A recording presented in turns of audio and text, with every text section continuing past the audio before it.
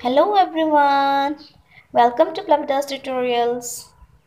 Friends, if you're a regular viewer of my channel, then what you have to do? Yes, you already know it. Yes, you have to hit the like button, share my channel with your friends and families, and if you're completely new, then you have to subscribe my channel and also tap the bell icon to get regular updates and if you don't want to miss anything of this video then you have to watch the video till the end Friends, once again welcome to the vocab series of newspapers and today also I have collected few sentences from different kind of newspapers and picked up different kind of words for you so that it will be helpful in your preparation for the competitive examinations. Not only for the competitive examinations, you can also increase your vocabulary skill by learning this kind of words. The only duty is that you have to take out your diary and pen and note it down. And keep in mind that you have to also learn these words by heart okay? So now let's start without wasting our time. The first sentence i have picked up today from the newspaper the hindu. And the sentence is like this. Bjp is encouraging mobocracy. I repeat bjp is encouraging mobocracy. And for today i have uh, decided to pick, uh, find out the meaning of the word mobocracy Mobocracy is a noun word and its meaning is the rule or control of the masses. That means a control of a collective group which will have more power that is known as mobocracy. You can rule someone in a unity that is known as mobocracy. And the sentence tells that BJP is encouraging mobocracy. That means BJP wants to uh, have collective power over something or someone. This is known as uh, mobocracy. I have uh, taken an example so that you can understand better. Uh, the sentence is like this. Mobocracy helps to win a struggle fast. That means if you work in a group, then it will help you to win that struggle as fast, which will not be helpful for you if you struggle alone. This is known as mobocracy. I hope you have understood it. The second sentence I have collected from the newspaper Times of India. And the sentence is like this. Will narendra modi outsmart amarinder singh in punjab? I repeat the sentence. Will narendra modi outsmart amarinder singh in punjab?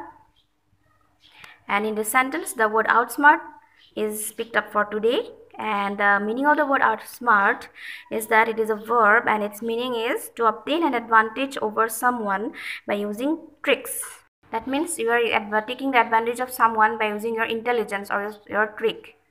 Okay, that is known as outsmart. Its synonyms are outwit, make a fool of. Okay, these are the synonyms of the word uh, outsmart and uh, according to the sentence here it is asked that will Narendra Modi outsmart Amarinder Singh? That means will Narendra Modi take the advantage of Amarinder Singh in Punjab? So this is the question asked by the in the newspaper. Okay answer we are not aware of it. So here another example I have taken so that you can understand.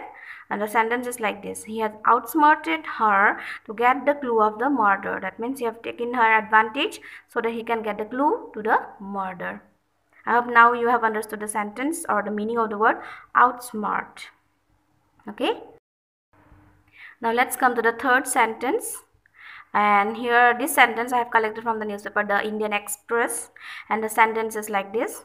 Wife entitled for alimony even after legally void marriage. I repeat, wife entitled for alimony even after legally void marriage. So here the meaning of the word alimony is necessary. According to me, I think so. So let us discuss. So according to the meaning of the word alimony, it means that the maintenance for a wife after divorce or being separation or separated means after a wife is separated from her husband she gets a maintenance legally that is known as alimony its synonyms are provision or allowance okay? And here a sentence is given that a wife the wife was entitled for alimony even after legally void marriage. Void means so useless. Or no? Null. So after the marriage was declared null still uh, she was entitled for alimony. Again another sentence i have given here and a sentence is like this. He was asked to pay the alimony from time to time. That means he have to pay a maintenance for to his wife time to time so that she can run her family or her children or with whom she is going to live. This is the meaning of the word alimony. Clear? Then the fourth sentence i have collected from the newspaper the assam tribune and the sentence is like this. To shift Aloy and Dipjoti bring laurels to Lakhimpur. This sentence I have collected from the state newspaper that is from the Assam Tribune and the meaning of the word laurel I have picked up and the meaning is like this it is a verb and its meaning is an award or praise in recognition of an achievement.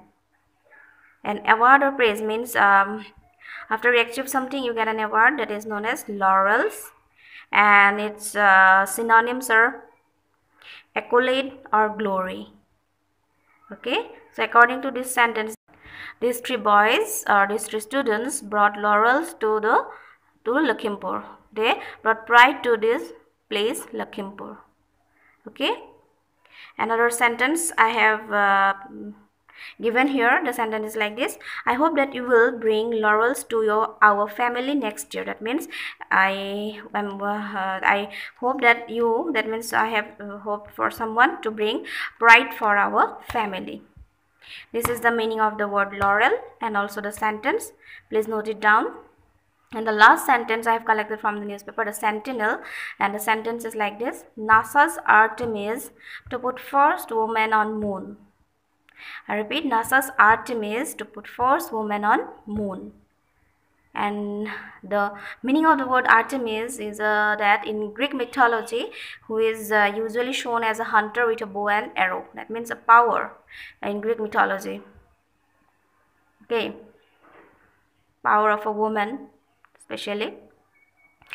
I have uh, given an example here. You must have the power of an Artemis in you.